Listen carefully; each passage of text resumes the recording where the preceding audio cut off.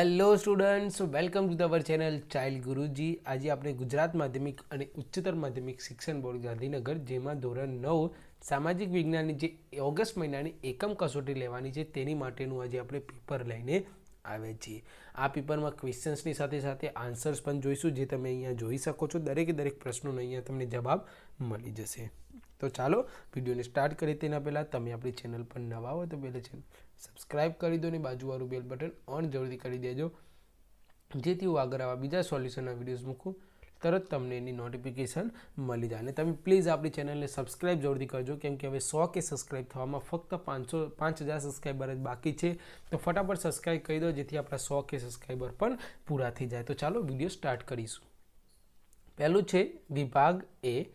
જેમાં તમને અહીંયા વૈકલ્પિક ક્વેશ્ચનો આપેલા છે પહેલો એની અંદર વિશ્વના માનવીઓનું સ્વાસ્થ્ય સુધારવાનું કાર્ય કોણ કરે છે તો W H O world health organization બીજું છે જર્મનીના નાઝીવાદનો સ્થાપક કોણ હતો તો આન્સર આવશે હિટલર ત્રીજું જાપાનમાં હિરોશીમા અને નાગાસાકી શહેરો પર કયા દેશે અણુબોમ્બ ફેંક્યા હતા તો અમેરિકાએ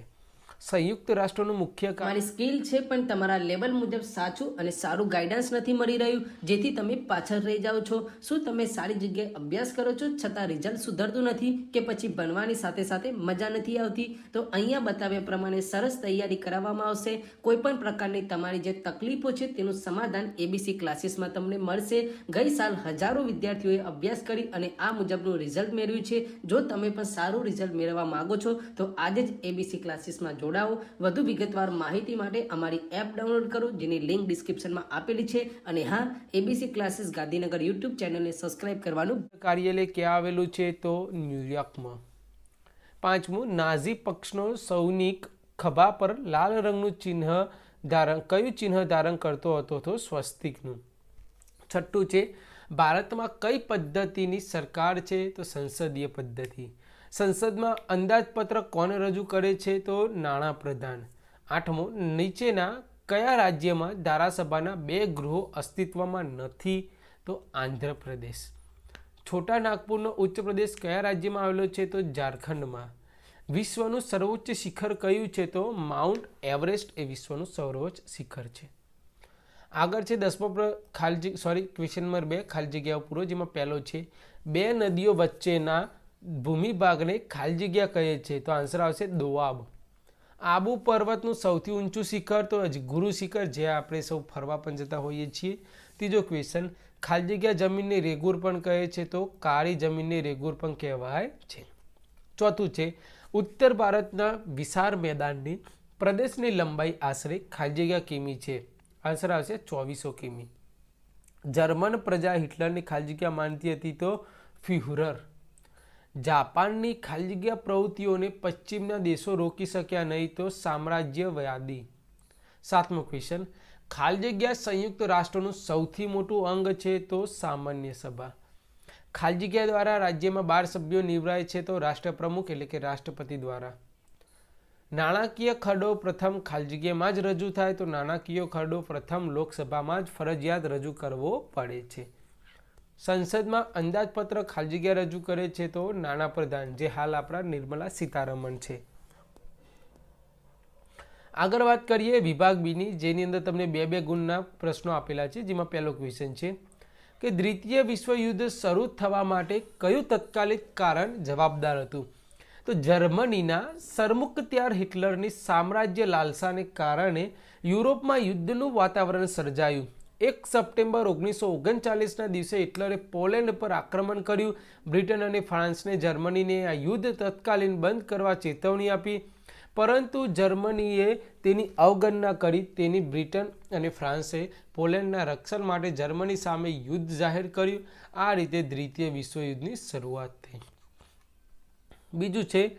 સંયુક્ત રાષ્ટ્રોની સ્થાપના શા માટે કરવામાં આવી તો વિશ્વમાં શાંતિ અને સલામતી જાળવવા આંતરરાષ્ટ્રીય વિવાદાસ્પદ પ્રશ્નોની ચર્ચા વાટાઘાટો કે લવાદીથી ઉકેલી યુદ્ધ અટકાવવા વિશ્વના દેશોનો આર્થિક સામાજિક અને સાંસ્કૃતિક વિકાસ સાંધવા શસ્ત્રોના ઉત્પાદન પર નિયંત્રણ રાખવા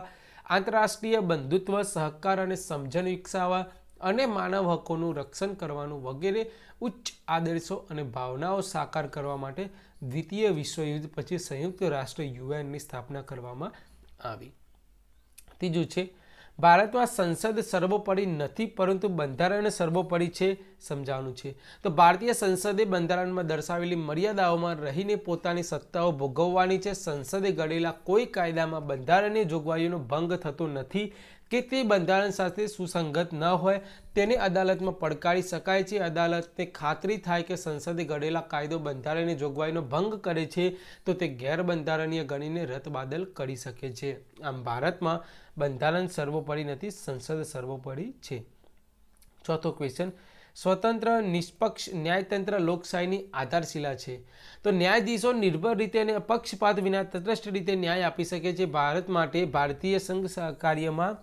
ન્યાયતંત્રને ધારાસભાને કારોબારીથી સ્વતંત્ર રાખવામાં આવ્યું છે તે લોકશાહીનું મહત્વનું લક્ષણ છે બંધારણને ભારતને લોકશાહી રાજ્ય જાહેર કરીને તેના સંરક્ષણનું કાર્ય ન્યાયતંત્રને સોંપ્યું છે ન્યાયતંત્ર બંધારણના રક્ષક અને વાલી તરીકે કામ કરે છે આથી કહી શકાય કે સ્વતંત્ર અને નિષ્પક્ષ ન્યાયતંત્ર લોકશાહીની આધારશિલા છે પાંચમો ક્વેશ્ચન પશ્ચિમ ઘાટ સરંગ છે જ્યારે પૂર્વ ઘાટ તુરક તૂટક છે એટલે કે કટકા કટકા છે કારણ આપો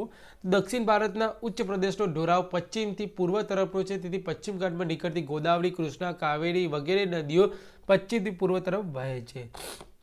અને પૂર્વ ઘાટના ડુંગરોની કોતરી બંગાળની ખાડીને મળે છે આથી પૂર્વ ઘાટ તૂટક છે અને પશ્ચિમ ઘાટમાં કોઈ આવી મોટી નદી નથી તેથી તે સરંગ છે છઠ્ઠો ક્વેશ્ચન દખ્ખણના ઉચ્ચ પ્રદેશની નદીઓ બંગાળની ખાડીને મળે છે તો દખ્ખણનો ઉચ્ચ પ્રદેશ પૂર્વ કરતાં પશ્ચિમ બાજુએ વધારે ઊંચો છે તેથી તેનો ઢોરા પશ્ચિમથી પૂર્વ તરફનો છે તેને લીધે દખ્ખણના ઉચ્ચ પ્રદેશની નદીઓ ઢોરા તરફ પૂર્વ દિશામાં વહીને ખાડીને મળે છે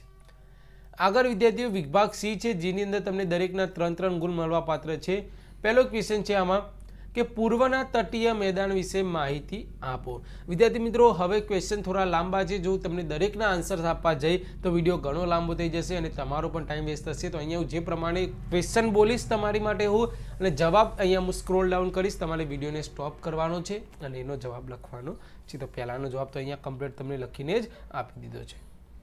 બીજું છે ખડકોના મુખ્ય પ્રકારો જણાવો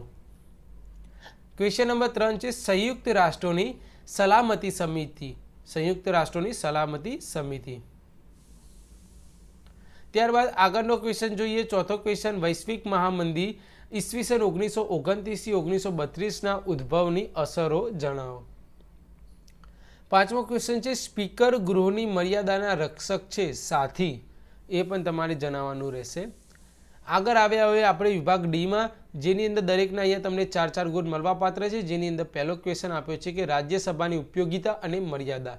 રાજ્યસભાની ઉપયોગિતા અને મર્યાદા આગળ વાત કરીએ ક્વેશ્ચન નંબર બેની ટૂંક નોટ લખવાની છે જેમાં નાણાકીય ખરડા અંગેની બંધારણીય જોગવાઈઓ અથવા તો નાણાકીય ખરડામાંથી કાયદાની રચના આ બંનેમાંથી તમે કોઈ પણ લખી શકો છો ક્વેશ્ચન સેમ છે ખાલી બંને રીતે તમને પૂછાઈ શકે છે આગળ છે ક્વેશ્ચન દ્વિતીય વિશ્વયુદ્ધની રૂપરેખા બીજા વિશ્વયુદ્ધ થયું એની આખી રૂપરેખા આપણે સમજાયેલી છે તમને અહીંયા અને લાસ્ટ ક્વેશ્ચન છે ભારતના દ્વીપ સમૂહો ભારતના દ્વીપ સમૂહો લક્ષદ્વીપ ટાપુ અંદબાર તથા નિકોબાર ટાપુ એ બધા વિશે તમારે સમજાવવાનું છે તો વિદ્યાર્થી મિત્રો અહીંયા આપણો આ વિડીયો કમ્પ્લીટ પૂર્ણ થાય છે મેં તમને દરેકે દરેક ક્વેશ્ચન્સનો સો ટકા સાચા અને સચોટ સોલ્યુશનની સાથે તમને અહીંયા આન્સર્સ આપી દીધા છે તો તમને આપણો આ વિડીયો સારો લાગ્યો તો પ્લીઝ વિડીયોને લાઇક કરજો ચેનલ પર નવા તો પ્લીઝ ચેનલને સબસ્ક્રાઈબ કરજો જેથી આપણા સો પણ જલ્દીથી પૂરા થઈ જાય તો ચાલો વિદ્યાર્થી મિત્રો મળીશું આપણે નેક્સ્ટ વિડીયો સાથે ત્યાં સુધી આવજો જય હિન્દ અને જોતા રહેજો આપણી ચેનલ ચાઇલ્ડ ગુરુજી